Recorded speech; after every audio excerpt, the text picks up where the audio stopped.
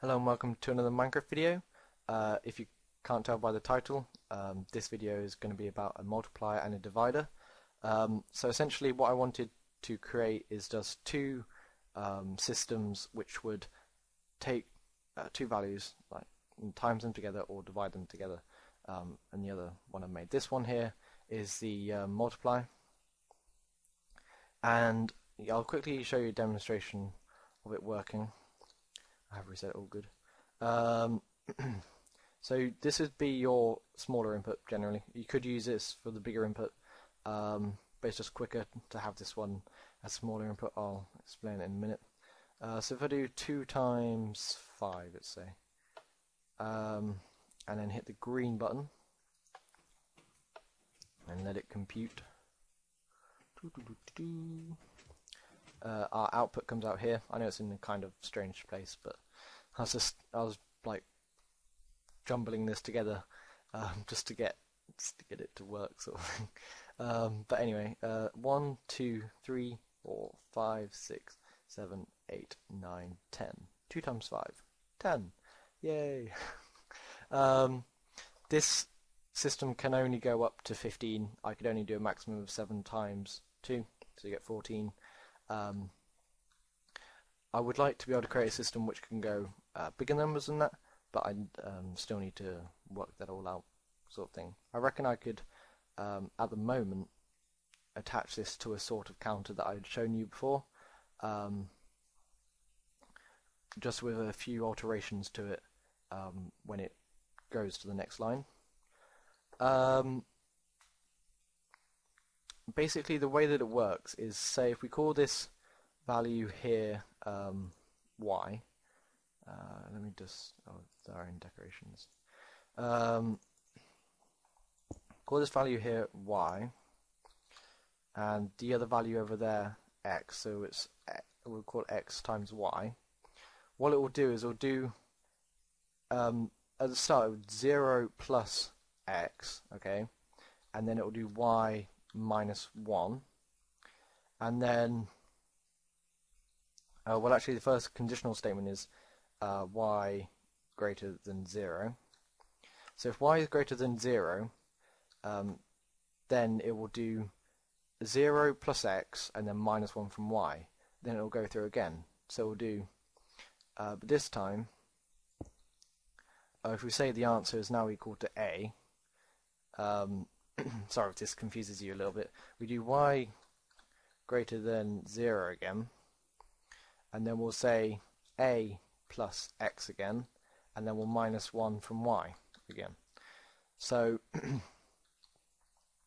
what's happening here is it will just then repeat through this bit, but the first one is a little different because we have 0 instead of answer, but essentially 0 is our answer uh, at the start. So I'll walk you through it with using our 2 times 5. So 2 comes into here and gets stored in this little bit here. Sorry for this all being jumbled up. Um, 2's in here. And then what it does is it asks whether 2 is um, greater than 0, basically with this bit here. And then if it is greater than 0, uh, the only reason I did this bit is because I was being stupid, but yeah. it still uh, still works out whether it's greater than zero or not. Um, and then if it is greater than zero, then it will add on um, your number in here. It'll add it on, so this piston will push forward, putting the value into here, and so it can do the um, addition, and add that to our answer at that point, which is currently um, this storage block here, uh, which currently resides at zero and so it'll add on 5. So if I'm quick, uh, where is it? Three, four, 5. Um, quick, come over here. You see it added on 5, and then added on 5 again. Now that delay is coming from the signal going along here. Uh, for a bit of delay, I just added on to make it simpler, and then essentially this circuit here is just minusing 1 from the, the stored value in here. So that it, um, the, your 2 will then become 1, and then when it becomes 1, it'll go through again, and then it'll minus 1 again, and um, it'll become uh, become 0. So if I was to show you an extreme example of this, so this value here would be 15, I'm going to do, um, reset it all, I'm going to do 15 times 1, so that we'll um, just get 15 should be our answer. Then you'll see this just increment by 1 each time. Now the timing isn't perfect, of course, so it's going to be a little slow. Uh, probably speed it up a little bit. But that's essentially all that's happening. It's just checking whether y equals 0, and then, if not, adding on the number we put here. So it's just adding 1 on each time. And then that will come out of 15 in the end, uh, if we let it run for a while. So that's essentially the multiplier done. Now the divider I built over here, don't worry about that stir, that's be me being stupid. Um, yeah, this is a divider. And so if I give you a demonstration, this number here should be your bigger number. So like on the top of the fraction, and then that's your uh, denominator, um, this line here. So, and also the output of this, um, if I reset it all, uh, sorry I have to manually reset it uh, at the moment. I haven't, oh, that's already reset. Um, I haven't hooked up all the pistons to lift blocks and stuff. Um, but yeah, the answer will come out as um, uh, and it'll be they'll be both analog, um, but I'll just put set up a display for this one. Um, but it'll give how many it's divided by and then a remainder. So, for example, if you did uh, 15 divided by 2, um, of course that doesn't go. If you do that on a calculator, you get 7.5. But here it would show it as 7, remainder 1 um, because you get 7 times 2, which equals 14. Then you got one more, which would make it up to 15. So if I do a calculation here, I'll do one um, which should get a remainder. So that's 15, 14, 13. If we do 13 divided by 3, 1, 2, 3, and then we hit go. You get 1, 2,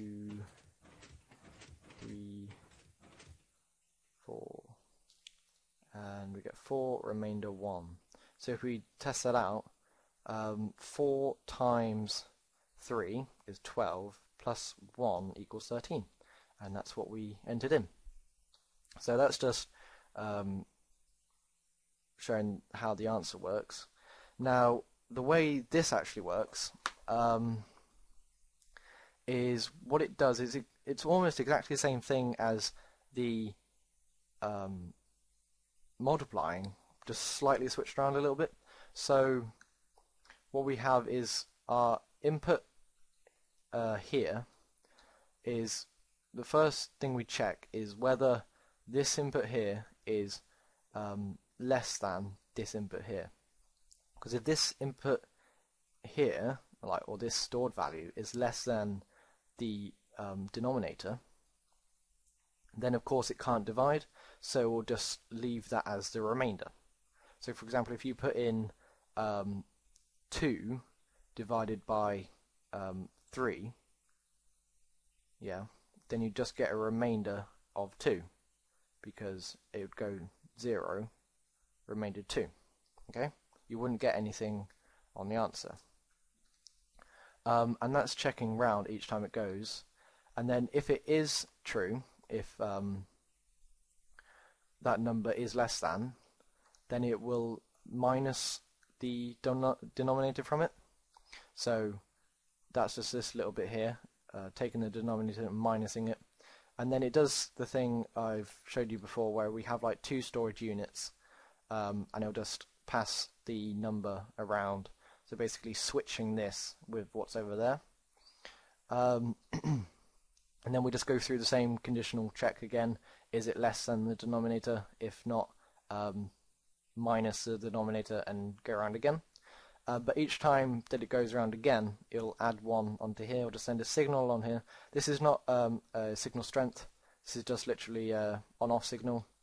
And so if it is um, on, then it'll just add one onto here and um, go around again.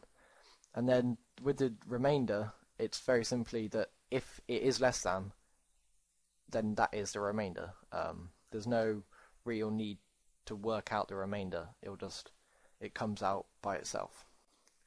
Um, yeah, so that's that's essentially it really. Um, I won't post these. Um, I won't post these schematics um, because it's not a really it's not a very good design. Um, if I ever do, uh, which I should do, um, though I should be doing revision, but um, if I do make these uh, uh, better and more compact and possibly faster, uh, most definitely faster with the multiplier, um, then I will uh, post those schematics uh, in a later video for you guys. Um, an interesting point um, which I might also build is that I could do powers as well. Um, so for example I could do um, 2 to the power 3 the way you do that is you just add on like um, this uh, like y bit again and just like put it here. And so you'll do a conditional check every time that equals zero. Then you just return that to um, its value again and then minus one from the other from the other like y value you'd call it like z or something I don't know um, and then that would allow you to do like um, 2 to the power 3, so do 2 times 2 times 2. Um, but yeah, that's just for a later product, maybe one day. Um, yeah, so thank you very much for watching. Hope to see you next time.